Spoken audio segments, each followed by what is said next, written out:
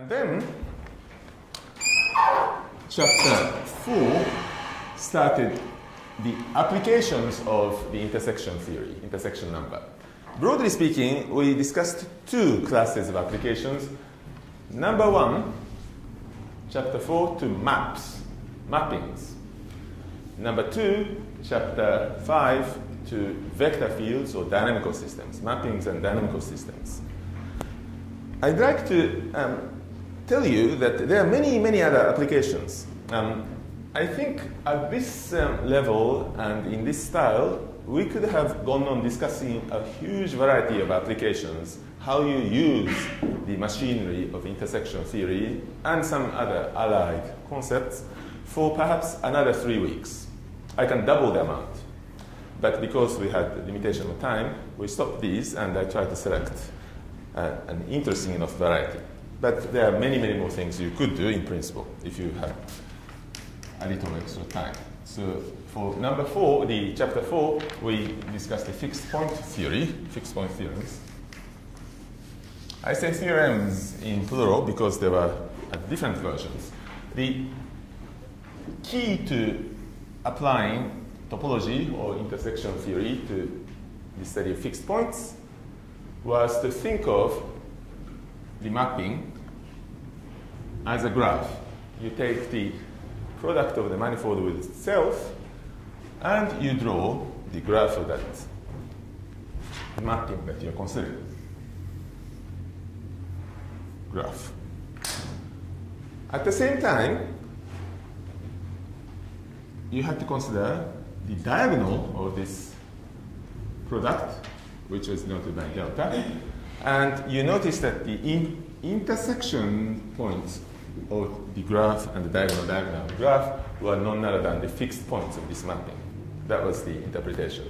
And you also remember that finding fixed points is a very important procedure because, for example, solution of any equation, be it algebraic, differential, what have you, was reducible to finding fixed points. Okay, so from now on, whenever you want to solve any equation, any equation, there is one way of looking at it. There are many other ways, of course, but uh, an additional way to look at it is to think in terms of fixed points. Good. So, the famous concept here was that of Lefschetz number after Solomon Lefschetz. By the way, Lefschetz was a mathematician in the very active in the first half of the 20th century and a little later of Russian origin. He came from Russia, went to Paris, and became an engineer in Paris. Unfortunately, while he was a young engineer, a laboratory accident uh, took place. An explosion blew off both his hands. Really terrible incident. So he lost his hands, literally. He couldn't become, be an engineer anymore. So he studied mathematics and became one of the leading, most influential mathematicians of the 20th century. Uh, that's it. He later emigrated to the United States and spent most of his career at Princeton. Um, that's just number. And this was denoted by the funny symbol which looks like somebody walking, lambda, capital lambda of f, is equal to the intersection of the diagonal with the graph of this map F. Okay? And if this number is non-zero, that means that, well, in particular, there must be intersection points inter contributing plus or minus 1, so there must be fixed points. That was the logic. The theorem, which is called Lefschetz fixed point theorem, is almost therefore a tautology. Tautology means that saying exactly what the definition is saying, that if the Lefschetz number of a map is non-zero, it implies that the map must have fixed points.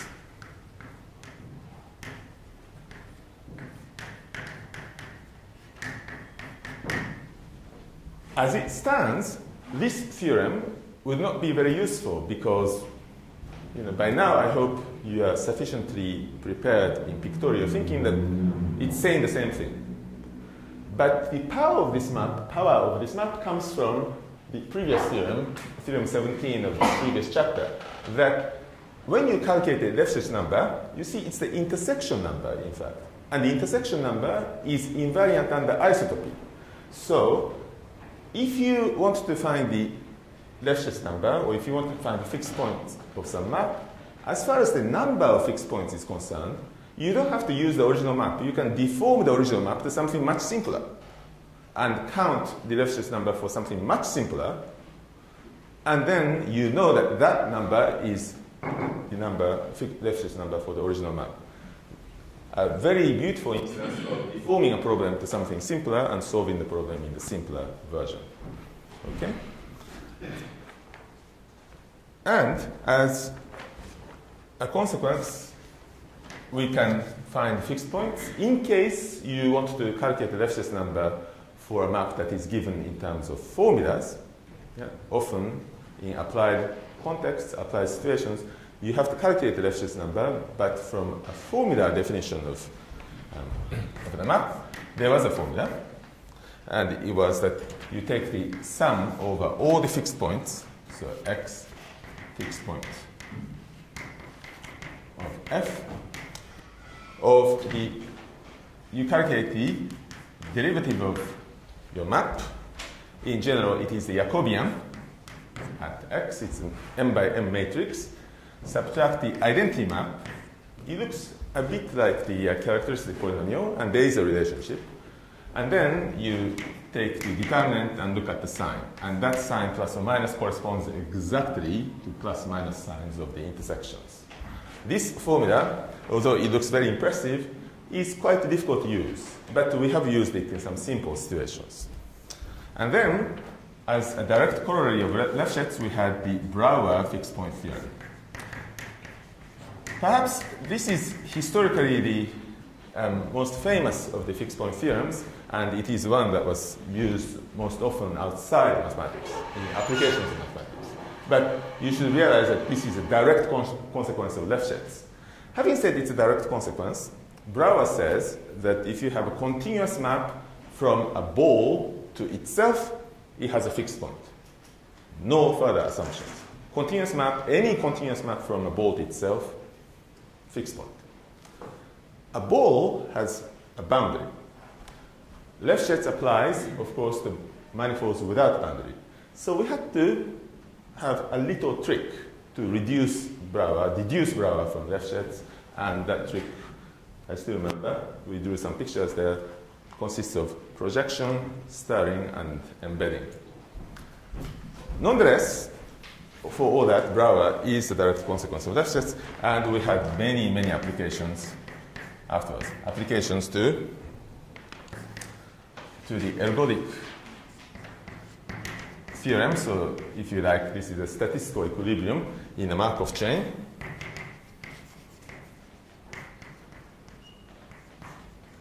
So application probability or statistical physics. And we also mentioned, we did not quite explain, but Nash equilibrium in game theory or economics.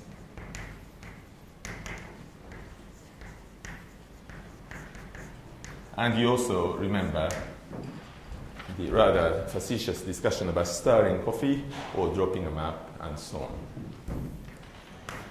Applications are nearly endless. Okay. And then the final chapter was an application this time moving from maps to vector fields or dynamical systems. Equilibria um, of vector fields.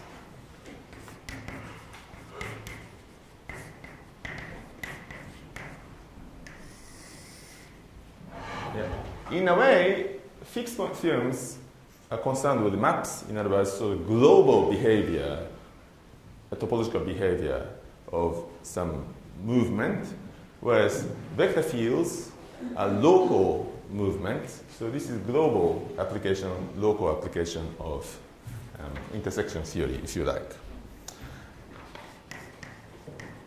A somewhat intriguing and tricky concept certainly tricky to visualize was the concept of tangent bundle. That was a little difficult. You had to think of the tangent spaces as vertical. That was the only way to draw the picture, but we did anyway. And here, the way to think about the application is as follows. The tangent bundle was drawn like this, and the base manifold M was drawn like this. And there is a zero section, which is identified with base. And what is a vector field? Well, vector field looks like this. Hmm? And that's the gamma, the graph of the vector field, where the two, the zero section and the gamma of V intersect are none other than the zeros of the vector field, that is equilibria. You might remember these two pictures like this. You see, in the fixed point case, you are intersecting the graph by something that's tilted 45 degrees. Here, in the case of equilibrium vector fields, you are intersecting graph with something that's flat, zero degree. But that's the only difference. You just lift it like this or project it like this, and the idea is the same. It's always thinking in terms of intersections, thinking in terms of simplifying the picture by deformation. And so, in this case, we had the concept of index of a vector field. It was simply plus or minus of the intersection signs. And index of a vector field could be calculated in principle. And if we had to calculate it in terms of a formula, that was the formula, it's a summation over all equilibria of V, of the given vector field. And if you sum the index of V at x, what did you get? Well, you got precisely, the picture makes it abundantly clear, the intersection number of the zero section and the graph of the vector field, or the section of the vector field, as we say in professional terms. And then, sometimes, just as in the case of the Lefschetz number, you might have to calculate the index from a formula. Sometimes the vector field or dynamical system is already given by a formula in applied contexts practical situations? Well, you should know that in principle, if you had a large sheet of paper and a clear mind and a cup of coffee, you can calculate everything. And the calculation formula is that index of v at x, remember that this is a vector field and this is a point, is um, simply equal to, well, first you calculate the derivative of v as before it is really the Jacobian, the m by m matrix of partial derivatives. And then you think that you're going to subtract the identity, but you don't. Here we subtract the identity because I was comparing the graph with this 45 degree thing. Here we are comparing the graph with a zero degree, a zero degree thing. So you subtract nothing, or you subtract zero. And you look at the determinant of this, and then you look at the sign, and that is the index of v at x. And then, in order to have a very beautiful series of non-trivial applications, we introduce the concept first met in our exercise session of Euler characteristic, which we denoted by chi, the Greek letter chi. This was simply the following. You just draw a suitable, reasonable network on your manifold. You divide, partition your manifold into network. You can think of the example of the 2D. You have a surface, you have vertices, edges, faces, and you draw a network. If you like, a map of countries. And the Euler characteristic was beta 0 minus beta 1 plus beta 2 minus beta 3 plus minus plus minus plus in front of all the even dimensions minus in front of odd dimensions, this alternating sum, alternating sum of the numbers of cells in all dimensions. And that turns out to be the Euler characteristic. This is a combinatorial definition, combinatorial in that you, know, you draw a graph and some cellular complex and then you count. But it is, it turns out, it's not clear from the definition, but it turns out to be a topological concept. It does not depend on how you partitioned, what kind of, um, what kind of network you took. And then, I'm sorry, I'm going to overflow to the third blackboard. Um, the main theorem of this chapter was the beautiful and powerful theorem due to Poincaré and Hopf. Poincaré-Hopf theorem, which is parallel to the Lefschetz fixed, fixed point theorem. He says, but it has a slightly different flavor, that if you take the sum of all the indices, well, we already know what that is. It is the intersection number between the zero section and the graph of your um, vector field. But you can say even more. It turns out to be the Euler characteristic of the manifold. You recall that this can be used, this great theorem can be used in two different directions. Well, it's a single theorem, so how we use it is up to us, up to our psychology, up to our practical needs. You can imagine that you know something about the left-hand side, let's say, that you have a picture of a vector field or dynamical system or water flow, you remember that example, so that you can calculate all the indices. That knowledge of dynamical system tells you something about the Euler characteristic of the manifold. In other words, dynamical system gives you information about topology. Or you can go in the other direction if you happen to know the Euler characteristic of the manifold, and that's very easy to calculate. You remember? You just partition and, and compute. If you know something about the Euler characteristic, well, that means that the sum of indices cannot be arbitrary. It puts a constraint on the kind of dynamical systems you can have. Yes. So topology gave you information about dynamical systems. This kind of connection between two so-called different areas of mathematics is very typical. It's so typical in fact, that you should be aware of the following fact. You know, when you go around the world and people, colleagues and others meet you, they often ask, what's your field? You might say, well, I do mathematics of sorts. And then they ask, oh, what area of mathematics? But that question is a little strange if you think about it. It's like saying, what do you eat? I say, well, I eat lots of things. So you specialize in meat, yes? you never eat vegetables or fish or fruits. And, and they say, no, no. I, I also eat fish and rice and vegetables and fruits and so on. And they say, oh, you are such a multidisciplinary person. Well, I mean, mathematics, science in broad terms, and nature itself doesn't know that we are making all those strange distinctions and partitioning the science into little compartments, which are called courses. Okay, at schools and universities, for convenience, maybe we choose to devote a whole semester to differential equations. We may choose to devote a whole semester to algebra, whole term to discussion topology and so on. But that does not mean, that's just a convenience. That doesn't mean that the science is divided and those connections are all over the place. So please explore those connections and indeed, it's by exploring those connections that you can solve interesting problems, new problems. If you are stuck in one field, you are likely to make some contributions, but those contributions will be textbook contributions. Yeah? Because the tools were prepared for exactly those problems, so nobody will be surprised if you solve problems using the tools that were designed for those problems. But using connections like this, you can apply tools from one field to another field so you can find surprising results, which is what we want, what we, what we want to look for in life.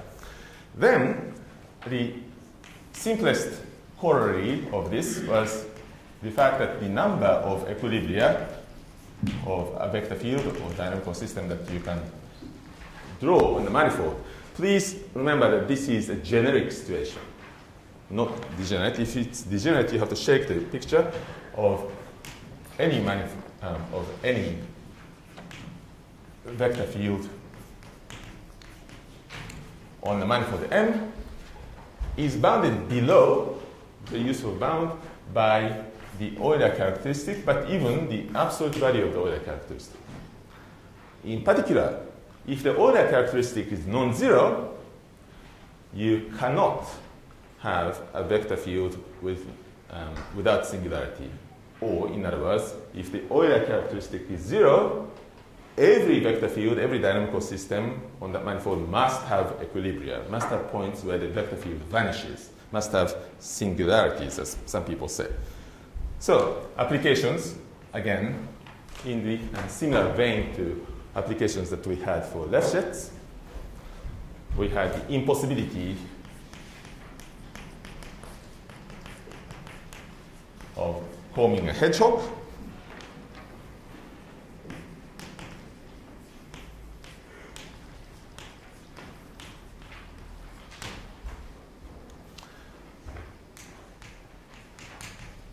Existence of singularities for metrics in general relativity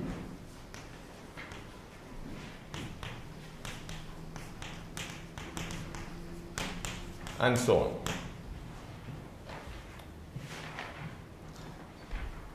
And as a dessert, as an appendix, we discussed just one more result, which can be approached by the topological or pictorial idea, which is the so-called fundamental theorem of algebra.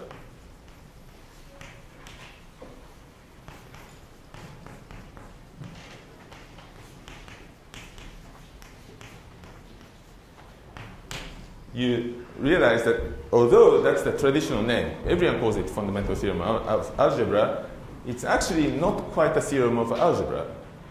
Its real nature is topological. It has to do with winding numbers, it has to do with degree or some uh, intersection theory background. But anyway, it says that every complex polynomial has at least one root, and from that you can deduce that it has in fact, as many as the degree of the polynomial, as many roots as the degree of polynomial, and that can be deduced by a very nice topological argument. Is the whole picture clear? What we have done then is to look at many, many pictures and many examples. That's how we started. And then we introduced the concept of deformation. It's called isotopy. Deformation of those pictures, deformation of situations, deformation of your problems deform to something simple, solve the simpler problem, and come back. And the intersection number was the invariant that we looked at. Intersection number is fortunately inv invariant under deformation. And then we discussed two classes of applications, fixed points and equilibria of vector fields. In the fixed point theorem, the main result was Lefschetz fixed point theorem and in the equilibrium of, excuse me, in the equilibrium of vector fields, the main result is Poincare-Hopf. That's the summary of the entire course as given at the AIMS. And one anecdote about, oh, one addition about Lefschetz. I told you who Lefschetz was, this courageous man, and very interesting personality, in fact. You might want to Google him and read about him on Wikipedia or something like that. Um, you are related to Lefschetz. The reason is Lefschetz um, migrated to America and became a professor at Princeton. And he trained uh, quite a lot of good mathematicians at Princeton. And one of his students was called Steenrod. And Steenrod became a leading um, geometer, topologist of the age. He was at Princeton. He died relatively young. And Steenrod had many students, and one of them was called John Moore. And again, Moore was a great specialist in homotopy theory and a very imaginative mathematician. Again, a peculiar character, but, uh, but a great mathematician. And Moore had a student, uh, William Browder. Browder was really the greatest figure in the period of golden age of topology and geometry in the 1960s and 70s. I'm starting a little bit earlier, but 60s and 70s, and he constructed the theory of surgery. We discussed surgery, but that was for dimension two. It turns out that you can do the same thing in all dimensions, and you might remember uh, mentioning the Poincaré conjecture. You remember? So Poincaré conjecture, very famous event um, that was solved, was um, concerned with three-dimensional manifolds. But in that connection, you might remember I, my mentioning that, well, classification of manifolds is a very difficult problem. It turns out, however, that in dimension 5 and above, up to something called homotopy, you can classify manifolds, which is quite surprising and amazing um, theory, huge body of work. And Brau, uh, Browder, not Brouwer, by the way, Browder, another Browder, um, was responsible, was one of the chief architects, together with Novikov and Sullivan and others. Sullivan was a student Browder's of that development, surgery theory in all dimensions. And you are connected to Lefschetz because when I did my PhD at Princeton, I was officially a student of Browder's. And I now came to share um, picture drawing wisdom with you, so you descend from Lefschetz by a long, long. Okay, let's take a break. Well done. And at 9.30 sharp, please come back. You can come back a little earlier if you like, but 9.30 sharp, probably 10 minutes will be enough for people to have a, a little tournament in ping pong. And, uh, but at 9.30 I'll show you something interesting. Yes, but, uh, you have told us uh, uh, uh, let's pronounce it. Yeah. Lefschetz. Lefschetz. Uh, you, he has lost his two hands. Is it possible to uh, guess to deal with mathematics without having hands? Ah. So, Fikre's question, and please allow us one or two minutes, um, because that's an interesting question I'd like to address in public in front of you. Fikre's question is, Lefschetz lost both his hands as a young man. Terrible, terrible situation. Is it possible to do mathematics without hands? Well, clearly, yes, because he left a, a very important legacy in mathematics, very influential mathematician, uh, wonderful results and wonderful um, perspective. But there have been examples like this in mathematics. You see, there are people who didn't have hands, who did mathematics, and at the highest level, very creative. Another example from the area of topology and geometry is that of Pontryagin. Pontryagin, a Russian mathematician, was totally blind from, not from birth, but from very early childhood from I think age seven or eight. Totally blind, but he turned, became one of the greatest geometers of the era. How can you do geometry when you don't see? Well, he was seeing an awful lot, lots and lots of things that we, most of the rest of us, cannot see, but he was seeing them in his head. So, he could follow very, very intricate and very delicate and beautiful um, constructions and operations in higher dimensions so on in his, in his mind, totally blind, and yet uh, mathematician of the first rank. There have been other examples of blind mathematicians. For example, a person that I know um, personally is uh, uh, somebody called Emmanuel Giroux at Lyon in France. He's a very tall mathematician and totally blind as well, but he's one of the leading geometers of our time. So you can see things you, you can see things, you can do things, and you can overcome difficulties. And I happen to know that there are people also who go on to become really creative and leading scientists of the era, coming, back, coming from, say, war zones. There is an example in Vietnam. There are people who come from really poor backgrounds, really impoverished, um, minimal conditions, and they yet they have to have a lot of luck, but nonetheless they make it in science and they contribute to the advancement of knowledge. And there are people who come from all kinds of backgrounds and all kinds of cultures, all kinds of conditions, but with hard work, with help from others, and helping one another, and with a little bit of luck, you can often make it.